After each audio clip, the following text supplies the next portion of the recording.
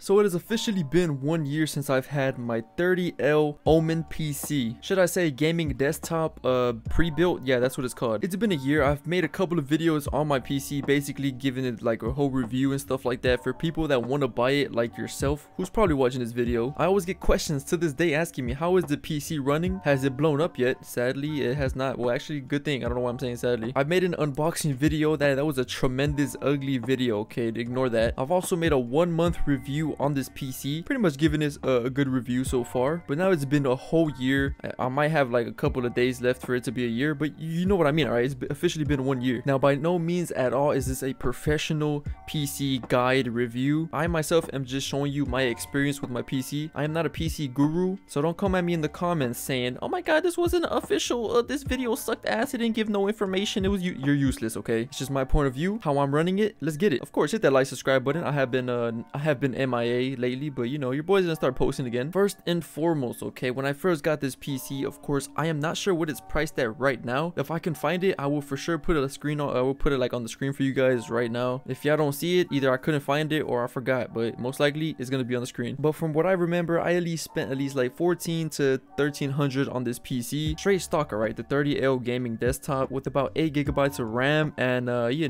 same thing, alright, Ryzen 5, AMD. And straight as soon as I got the PC, I needed one more gigabytes of RAM because I was not finna survive with 8. I probably wouldn't even be able to run Minecraft. So I bought another stick. As soon as I got my PC, I literally called up my one of my boys. He hooked me up with a stick, plugged it into the PC, and we were done so. I did say that in my one month review. I, of course, that's what I did. So besides the point, okay, I did get another gigabyte sticks of RAM. So now I have 16. So with 16, it's been doing phenomenal, okay? I've been doing pretty good. I haven't ran any like top tier ass game. Again, this PC is not gonna run phenomenal like super high ultra settings. It's not gonna even run probably good at high. I recommend you just probably play it at low or medium. You should be phenomenal. You should be alright. Now the games that I've been playing ever since and things like that, of course, is Warzone. I've been playing Red Dead Online, GTA. Those games are pretty pretty powerful. Okay, they're pretty big games. So the PC's been holding up pretty good. Warzone, of course, is probably crashed on me a couple of times, but that is because it's Warzone and Warzone just likes to crash. Has nothing to do with my PC. So yes, what I've done to my PC, I basically upgraded the gigabytes of RAM, and a couple of months after that, uh,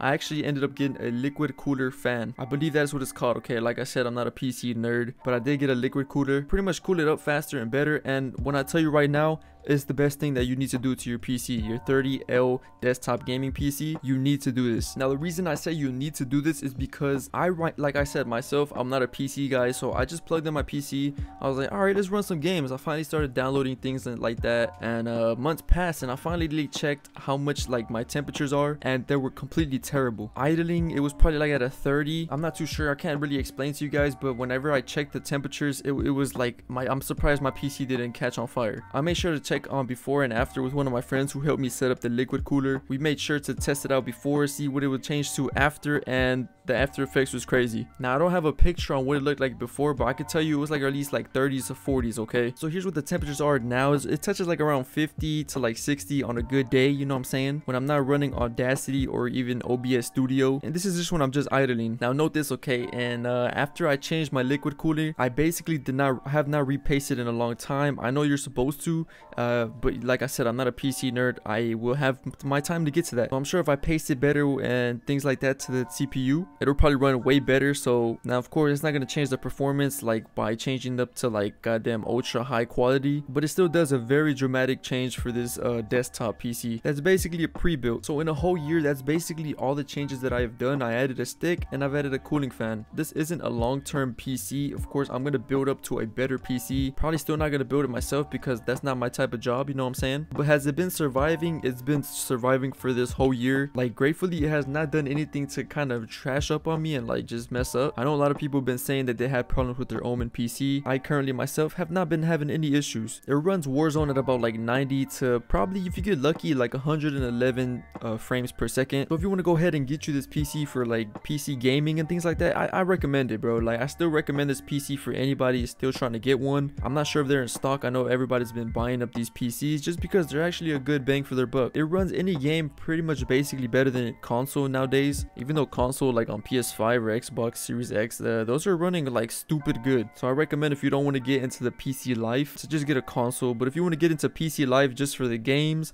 uh, just for anything in general, a PC is highly recommended. For a great starter, this is a bang for your buck. But like I said, you might want to add the fees of you actually having to buy another stick of RAM and as well as a cooling fan and learn how to set that up. Or you can get the pre-built that's above this one and it already has pretty much good stats on it because the fans on the PC is kind of, they're kind of trash, I'm not gonna lie. The cooling fan that it gives you like stock is, is literally trash. So will this PC last for another year? Uh, I hope so because I'm going to be gaming for another while as well as it helps me run my YouTube. I'm editing, it runs pretty good. Some some softwares it kind of runs slow but then again it's not an editing like PC so this is mainly like a gaming PC. I still use it for everything as in editing, making videos, using OBS Studio, OBS Labs, whatever, Streamlabs. So yeah man in this whole year I have nothing bad to say about my PC. It's been my baby, my beautiful child. Like again I might get lags here and there but that is because I have so much stuff running and that's what's gonna happen okay. You can't just be having too much things running at once. The PC works great for streaming and playing a game on it. Depends what game okay. Now if you're playing Warzone a highly powerful game that needs that uses a lot of your PC I recommend you do not stream. If you play Fortnite or something yeah it's gonna work way better for you guys. This is just my experience with the whole year of using my PC what I've done with it how it's been running for me what I've upgraded. Of course it needs a lot of more cleaning inside of the PC which I highly recommend that uh, everybody does and